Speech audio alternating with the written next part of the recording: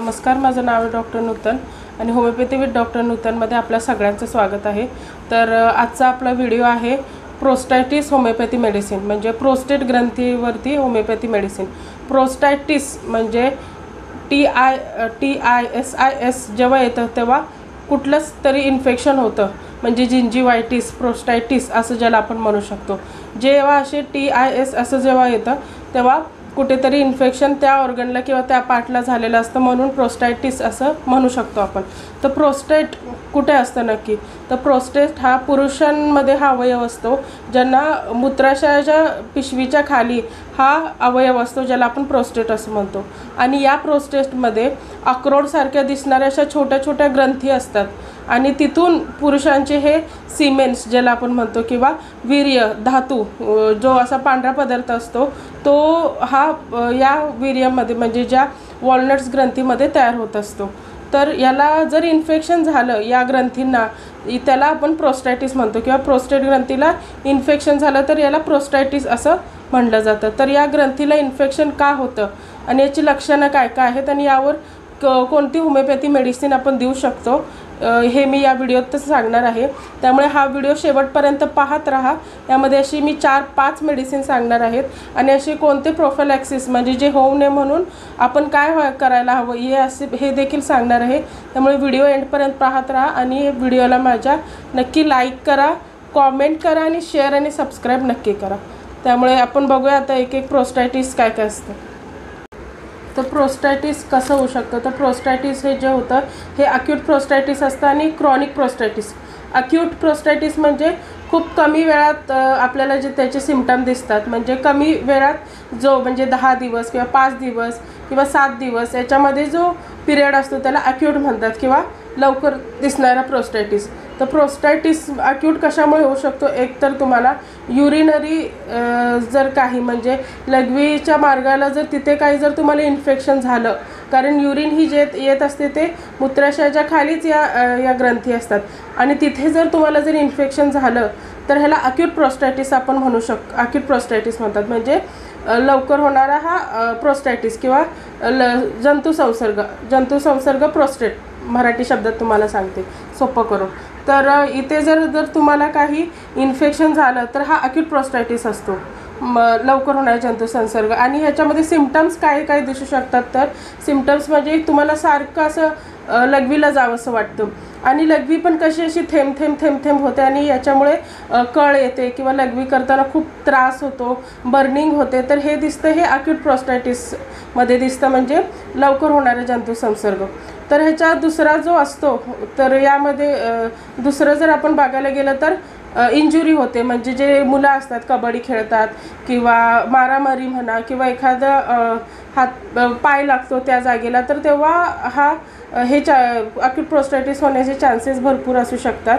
आणखीन chronic prostatitis जर बघायला गेलं तर क्रॉनिक प्रोस्टेटिस हा सडन होत नाही. हा अक्यूटकडे जर आपण दुर्लक्ष केलं म्हणजे ठीक आहे दुखते आपण लक्ष दिल लक्ष नाही दिलं तर हा कुठेतरी जाऊन तुम्हाला क्रॉनिक प्रोस्टायटिस होतो. आणि क्रॉनिक प्रोस्टायटिस बघायला गेलं तर खूप जास्त त्रास होतो ज्यामध्ये म्हणजे पेशंटला लोअर बॅक पेन होतं ज्याच्यामुळे आणि रेक्टम म्हणजे जेव्हा ते स्टू युरिनला जातात तेव्हाच त्यांना मोशन करावीशी वाटते. कारण खूप स्ट्रेन पडतो आणि या स्ट्रेनमुळे देखील खूप वजन पडतं त्या जागेवरती आणि त्यामुळे त्यांना मोशन देखील म्हणजे अ, शौचास पण येत असते. आणि लोअर बॅक पेन होतं कमरेत पेन होतं. प्लस त्यांना लघवी झाल्यानंतर किंवा लघवी होऊन गेली की थेंब थेंब थेंब थेंब रक्त पडायला लागतं. हे जे होतं ते क्रॉनिक प्रोस्टायटिसमध्ये होतं. म्हणजे खूप उशिराने प्रोस्टेटच्या ग्रंथीला होणाऱ्या त्रासमध्ये हे क्रॉनिक प्रोस्टॅटिसमध्ये होतं. तर अक्यूट जर तुम्ही कन्फ्यूज होत असाल तर अक्यूट हा जो काळ असतो आपण बघायला गेला तर दहा ते पंधरा दिवस हा अक्यूट म्हणू शकतो. आणि जर क्रॉनिक जर आपण बघायला गेलं तर पंधरा दिवसाच्या पुढे किंवा दीड महिना एक महिना दोन महिना सहा महिने वर्ष जे अशी बघायला जातं त्याला क्रॉनिक पिरियड असं म्हणलं जातं.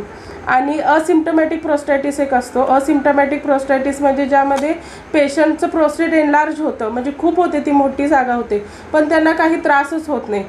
त्रास नाही झाला तर साहजिकच एक कोणी ट्रीटमेंट पण घ्यायला जात नाही. पण जेव्हा आपण इन्फर्टिलिटी म्हणजे वंध्यत्व ज्याला म्हणतो पुरुषांमध्ये देखील वंध्यत्व असतं. तर जेव्हा हे वंध्यत्वाचं निदान करायला जातो तेव्हा हे प्रोस्टॅटिस सापडत असतं आपल्याला. तर असे होमिओपॅथी कोणते मेडिसिन आहेत जिथं आपण प्रोस्टॅटिस देऊ शकतो हे मी सांगणार आहे.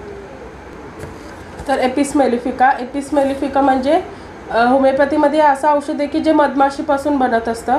तर ह्या- हे जे मधमाशीपासून बनणारं औषध आहे एपिस मेलिफिका तर हे औषध हे युरिनरी प्रोस्टेग्लँडवरती खूप चांगल्या पद्धतीने ॲक्ट होतं. यामध्ये जी होणारी युरिन असते ती खूप अशी ड्रॉप ड्रॉप ड्रॉप होत असते.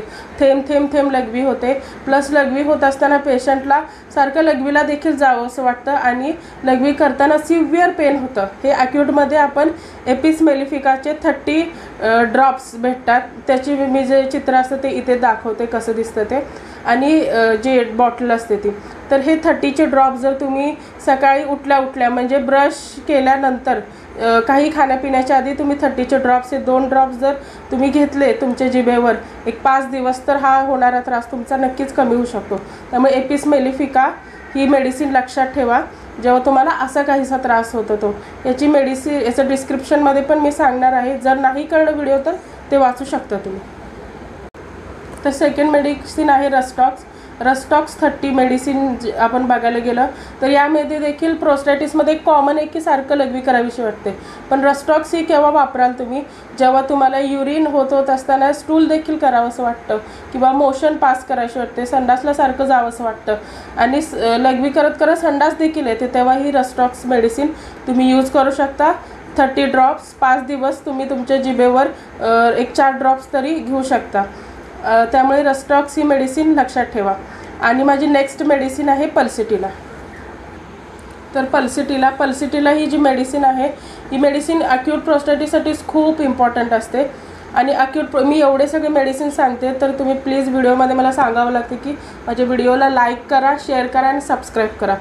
आणि हे व्हिडिओ ज्यांना हा त्रास होतो किंवा जेव्हा तुम्ही गप्पा मारायला मित्र मित्र बसतात तेव्हा हा व्हिडिओ सांगा माझ्या व्हिडिओबद्दल हा एक कारण कसं आहे जे- जेव्हा स्त्री देखील तिच्या कुठेतरी आरोग्याकडे दुर्लक्ष करत असते तेव्हा नक्कीच कुठेतरी पुरुष देखील त्याच्या आरोग्याकडे तितकंच दुर्लक्ष करतो. त्यामुळे मी दोघांनाही सांगते दोघांनाही तितकंच दुर्लक्ष करू नका. आणि आता आपण पल्सिटीला मेडिसिनबद्दल सांगू. तर पल्सिटीला मेडिसिनमध्ये या मेडिसिनला प्रोस्टायटिसमध्ये कसे लक्षणे दिसतात तर खोकलं साधं खोकलं शिंकलं हसल्यावर देखील ह्यांना मे युरिन ही ड्रॉप ड्रॉप पडत असते. प्लस युरिन झाल्यानंतर ह्यांना ब्लड येतं. तेव्हा प्ल प्रोस्टॅट प्रो प्रो या प्रोस्टॅटिसमध्ये तेव्हा पल्सिटीला ही मेडिसिन नक्की तुम्ही यूज करू शकता. तर माझी नेक्स्ट मेडिसिन आहे. तर चिमाफिला एम्बिल्ट ही नावाची जी मेडिसिन आहे ती पण कशी दिसते? हे देखील मी तुम्हाला इथे दाखवते त्याचं चित्र. किंवा ते एस बी एलचे ड्रॉप्स असतात ते मेडिसिन तुम्ही घेऊ शकता. तर ही जी मेडिसिन आहे यामध्ये देखील पूर्ण युरिन झाल्यानंतर खूप ब्लड येतं. आणि ही एकच अशी खूप मेडिसिन आहे जी तुम्ही युरिनच्या कोणत्याही म्हणजे कंप्लेंटसाठी वापरू शकता. याचं मदर टिंचर देखील असतं त्याची देखील माहिती मी टाकते. तर असे हे चार मेडिसिन मी तुम्हाला सांगितलेले आहेत. जास्तीत जास्त एपिसमेलिफिका रस्टॉक्स पल्सिटिला आणि चिमाफिला एम्बिफिला हे मेडिसिन आहे. हे देखील मी तुम्हाला सांगितले आहे. तर हे मेडिसिन वापरले पण हे होऊ नये म्हणून तुम्ही आत्तापासूनच सवय काय लावायची? तर प्रोस्टॅटिस होऊ नये आपल्याला म्हणून एक तर म्हणजे स्ट्रेस कमी करायला हवा. स्ट्रेस कमी केले की आपोआप तुमची बॉडी गुड सगळ्या गोष्टी व्यवस्थित मॅनेज करत असते. सेकंड म्हणजे तुम्ही पाणी भरपूर प्यायला हवं. जितकी तुम्हाला युरिन व्यवस्थित होईल तितकी तुम्ही तितके तुमचे जे युरिनेसचे चान्सेस असतात. म्हणजे युरिनरी ट्रॅक्ट इन्फेक्शन होण्याचे बी चान्सेस कमी होत असतात. त्यामुळे प्रोस्टेटला देखील काही त्रास होत नाही. थर्ड म्हणजे तुम्ही जितकं शक्य होईल तितकं स्टँडिंग राहायला हवं. स्टँडिंग जर तुम्ही राहिलं तर तुमचं जे वजन आहे ते प्रोस्टेटवरती पडणार नाही. फोर्थ म्हणजे पर्सनल हायजीन प्रायव्हेट स्पार्ट्सची मेल्सना याची एक सांगते की त्यांनी प्रायव्हेट स्पार्ट हे व्यवस्थित स्वच्छ असायला हवे जेणेकरून तुम्हाला प्रोस्टॅटिसचा असं काही म्हणजे प्रोस्टेट ग्रंथीचा असा काही त्रास होणार नाही. आणि प्लस जेव्हा तुम्ही सेक्शुअल रिलेशनशिप ठेवतात म्हणजे संबंध जेव्हा तुम्ही ठेवत असतात तेव्हा तुम्ही कॉन्डमचा वापर नक्कीच केला पाहिजे जेणेकरून तुम्हाला अशी काही त्रास होणार नाही. जर व्हिडिओ माझा आवडला असेल तर लाईक करा. कॉमेंट करा शेअर करा आणि सबस्क्राईब करा. आणि पुढचा व्हिडिओ मी कुठल्याही टॉपिकवर बनवा हे देखील तुम्ही लिहा. आणि सबस्क्राईब करायला विसरू नका कारण हा व्हिडिओ जेव्हा मी बनवते तेव्हा मला खूप असे इन्फॉर्मेशन माझ्या पुस्तकातून होमिओपॅथीच्या ह्याच्यामधून मला निवडावी लागते. त्यामुळे प्लीज याला लाईक करा कॉमेंट करा शेअर करा सबस्क्राईब करा. थँक्यू